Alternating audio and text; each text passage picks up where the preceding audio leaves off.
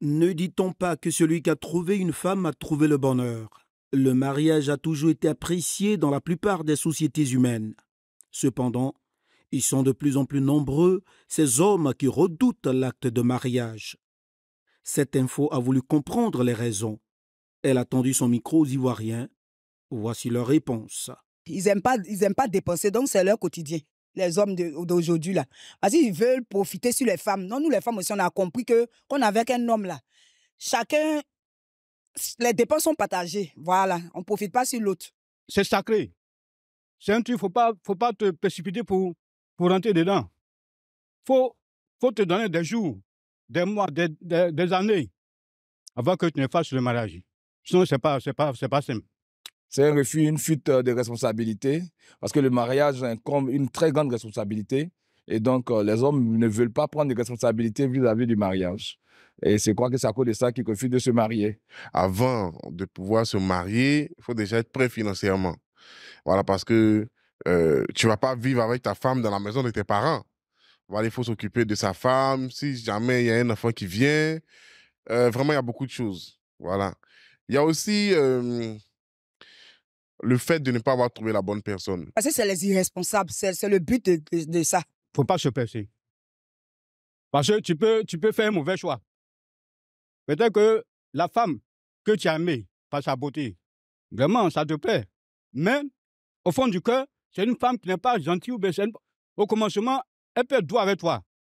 Hmm? Elle peut être droit avec toi. Mais au finish, elle va, te, elle va te créer des problèmes. Généralement, après le mariage, euh, la femme devient beaucoup plus autoritaire. Elle discute beaucoup, elle conteste, euh, elle abandonne véritablement sa position féminine. Elle veut prendre le dessus. Je ne pense pas qu'ils aient trouvé encore les âmes sœurs. C'est pourquoi? Ils ont peur de se marier. Sinon, en temps normal, un homme doit se marier. Et moi, je ne trouve pas d'inconvénient à ce qu'un homme ne se marie pas. Il faut gérer la femme, il faut gérer les enfants, il faut gérer la maison, tout ses dépenses. Donc, il préfère rester seul et puis avoir des copines.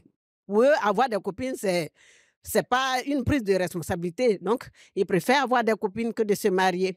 Une certaine réticence euh, pour les hommes parce qu'ils se disent que leur liberté va prendre un coup.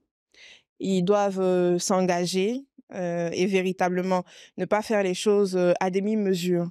Donc rester tout le temps à la maison, je pense que pour eux c'est pas ça fait tic. Donc euh, avoir des comptes à rendre, payer les factures, avoir des obligations, ça casse un peu le rythme de leur petite vie. Quand elles, sont, elles savent qu'elles sont au foyer, elles sont capables de tout soit elle peut assassiner peut-être le mari pour pouvoir prendre les biens. Les cas où monsieur ne sait pas trop qui choisir parmi les trois filles qu'il a sous la main, donc il y a un peu de tout quoi. Mais on se marie quand on est prêt.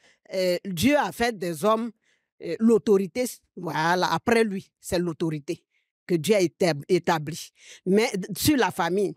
Mais quand cette autorité est bafouillée quelque part, l'homme il se retire, il a peur de se marier elle veut prendre le dessus véritablement dans le foyer, elle veut avoir le dernier mot, prendre véritablement euh, les décisions. Et ça, véritablement, ça, ça met un peu mal à l'aise les hommes. Ça peut être aussi la, déception. Quand les hommes sont déçus, les hommes, ils aiment qu'on les honore. Aujourd'hui, avec la cherté de la vie, beaucoup de filles font tellement de bêtises que le cœur de l'homme est vraiment devenu méchant. Il faudrait que toi-même tu sois assis financièrement parce qu'il ne faut pas prendre euh, enfant de quelqu'un pour venir la maltraiter dans ton foyer ou même vivre la galère comme toi-même tu le fais en ce temps.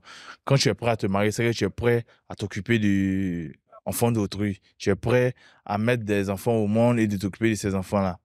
Ce qui fait que les hommes ils refusent de s'engager parce qu'ils fuient leurs responsabilités. C'est tout. Voilà. C'est pourquoi ils ont souvent peur de se marier.